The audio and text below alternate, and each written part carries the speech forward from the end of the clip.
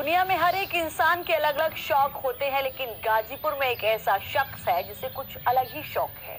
आप भी देखिए इस शख्स के अनोखे शौक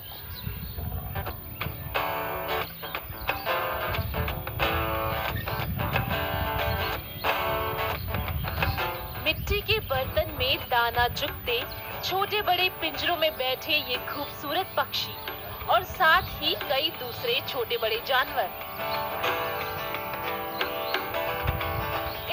सबको देखकर आपको लग रहा होगा कि ये किसी चिड़ियाघर का नज़ारा है, लेकिन ऐसा कुछ भी नहीं है।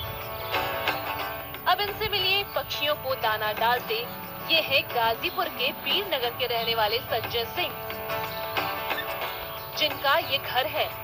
इन्हें जानवरों और पशु पक्षियों से इतना लगाव हुआ कि उनके लिए अपने घर में ही खूबसूरत आशियाना बना डाला।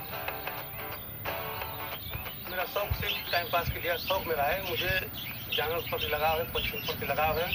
आ, इनको सेवा करके इन्हें समय बिताने से मुझे मेरे दिल को सुकून लखनऊ हुआ बनारस हुआ जहाँ मुझे पता चलता है कि चिड़िया मिलती है रंग बिरंगी चिड़िया मिलती है वहाँ मैं पहुँच जाता हूँ। और वहाँ जो भी अच्छा चिड़िया लगते हैं पालने वाले पालतू चिड़िया हैं जो लगता है कि नहीं हमारे यहाँ सुख भोग लगी सुख पाएगी हमारे यहाँ उस चिड़िया खरीद के लेकर ये पशु पक्षियों में पूरी तरह से बचपन से ही सहमत हूँ। और हमको खुशी मिलती है कि हमारा लड़का जो है इसमें खुश रहता है। पौधा में हर फूल में और चिड़िया में जानवरों में खुश रहता है। जब मैं यहाँ पे आता हूँ तो यहाँ से जाने का मन नहीं करता है। और मैं संजय मुझे लगता है कि संजय सिंह अपने परिवार से अधिक इन पशु पक्षियों में अपना दिन व्यतीत करते हैं और जितना ये प्यार इनको देते हैं शायद ही पूरे उत्तर प्रदेश में ऐसा कोई व्यक्ति होगा जो इतने इतने पक्षी पक्षियों को पाला हो और इतना प्यार देता हो।